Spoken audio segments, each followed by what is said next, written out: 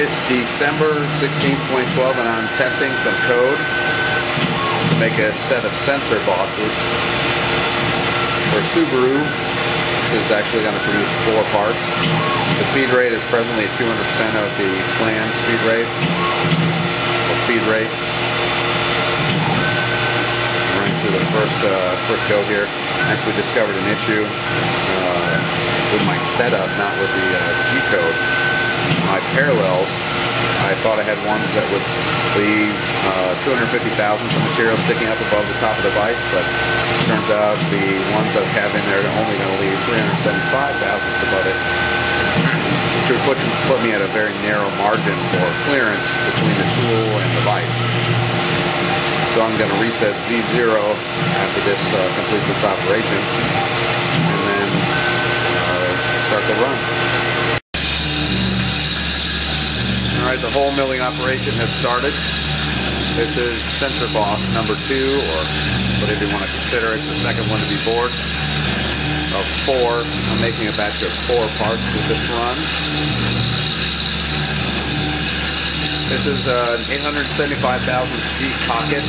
That's about seven tenths, uh, sorry, 700 thousandths inch in diameter. 3 8 inch end mill. I set my clearance plane too high. I set my clearance plane at uh, 125,000, so it takes a long time to get down to it. I normally run at uh, 62 and a half thousand or 16th of an inch, depending on how you want to figure it. This is noisier than I was expecting it to be. Not a big deal, really. Another surprise, another thing I forgot about was that some of the holes we're going to fill with uh, chips is not exactly going to be positive for the uh, finishing operation that occurs next. I guess what I may want to do in the future is mill the pocket and then finish the hole. Mill the hole and then finish the hole so it doesn't have an opportunity to fill up with chips. I'll have to take a break here in a little bit and make sure I'm ready to clear chips before the finishing operation starts on the next uh, next hole once it's done with the uh, fourth hole here. Alright, the whole finishing operation is complete. Uh, the chips cleared out very easily with a quick, quick blast of air. No problem at all there.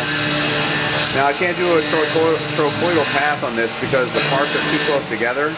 As a result, I'm using full width of uh, cut or full tool engagement on this, which I'm not happy about. But it is what it is, I guess. What I what I did is actually set this at 40 inches a minute. Too fast. I slowed it.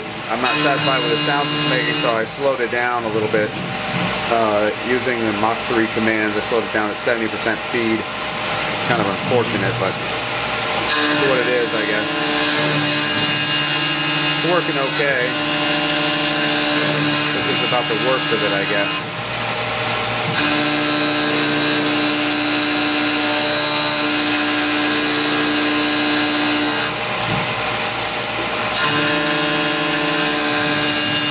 The parts is starting to show up now.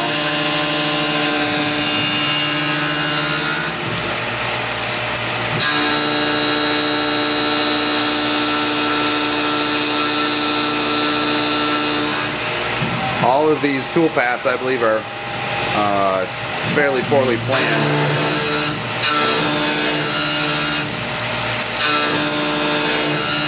Theory, these are just uh, prototype parts that will never make it into production, so I wasn't fairly concerned about it. I'm just using raw material that I happen to have laying around.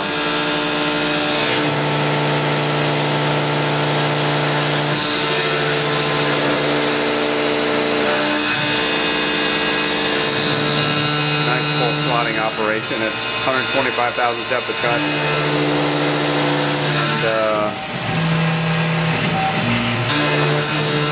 I think that works out to be 28 inches a minute on the feed here.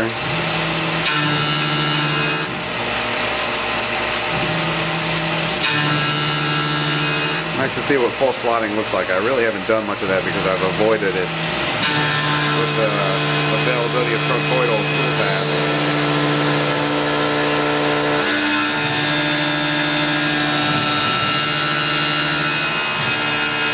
Chip buildup there. Looks like the uh, coolant flow will handle it.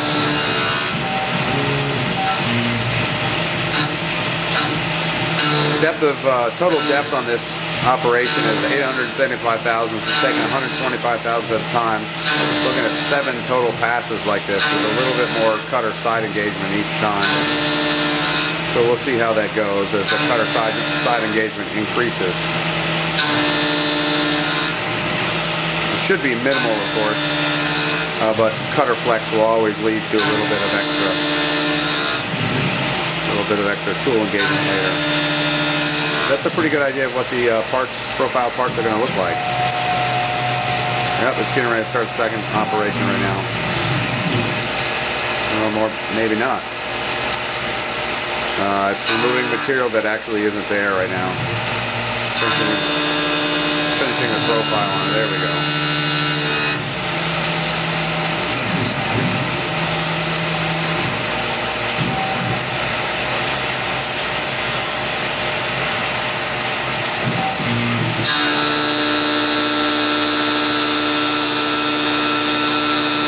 Boundary box and edge cam was a little larger than necessary, but like I said before, this is a one-off run,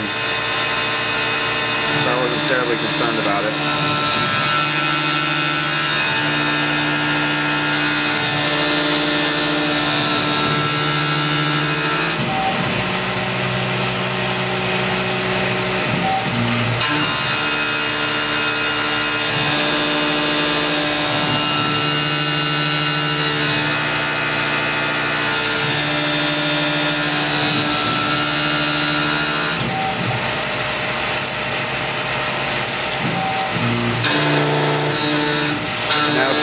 Second level.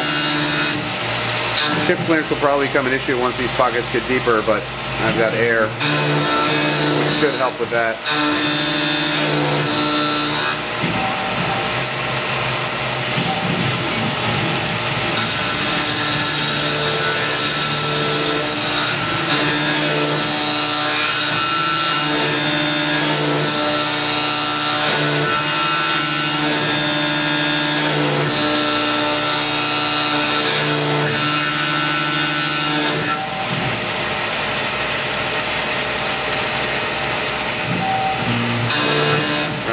shut the uh, video off for now and come back to it later.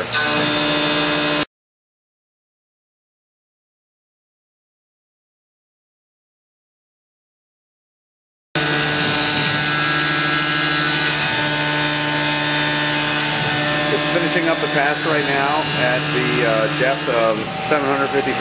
Got one more pass to go.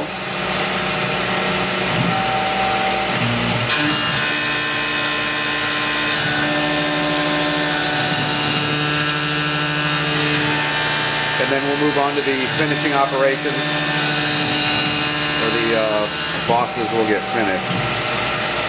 And I should be starting the new cycle here. Yep.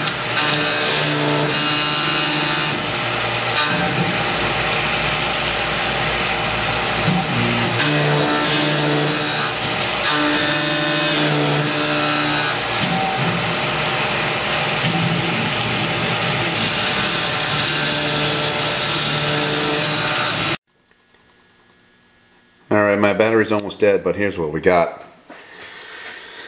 The finishing operations around the outside indicate that I've got some slop for my adjustment in there. There's a little bit of a step on each one of them. It's pretty significant. So I've got some more adjusting on the gibs to do. Uh, when I spot when I spot drilled these with the uh, chamfering tool, I thought it was going to turn out like crap. It turned out to be absolutely freaking brilliant. I was I'm very impressed with how they turned out. Let's see if I can get it in focus. Great finish. The uh, large chamfer on the inside, I thought it was going to be too much for one pass. Whoops. Attention the viewfinder here. I thought the uh, chamfer was going to be too much for one pass.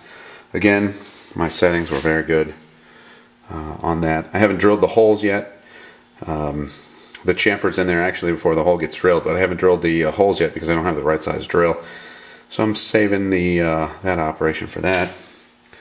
Otherwise, I'm extremely satisfied with how these turned out.